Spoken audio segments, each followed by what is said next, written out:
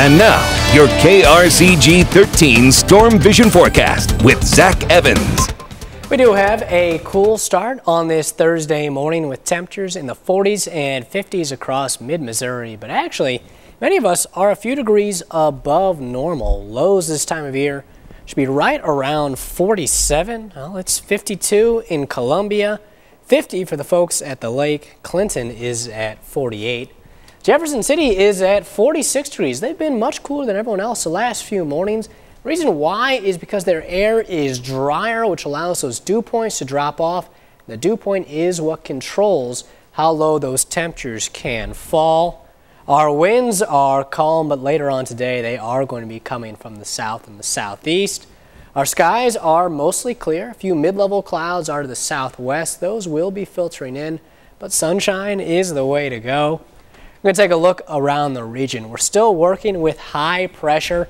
That's to the south, and that's what's going to bring us those nice winds, which will give us temperatures about 10 degrees above normal as we'll reach the upper 70s, maybe even the lower 80s.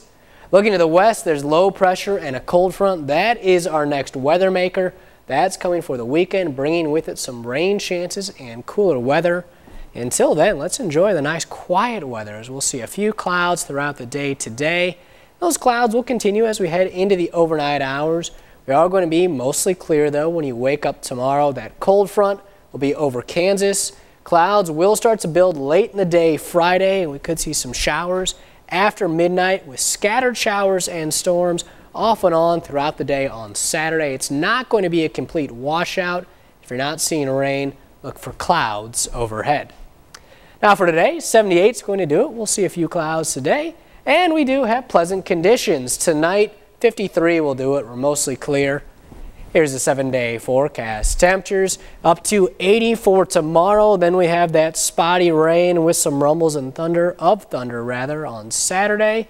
Going to cool down the lower 70s by Sunday. Another cold front's coming for the next work week. It's going to bring showers and storms Monday into Tuesday, followed by a big cool down.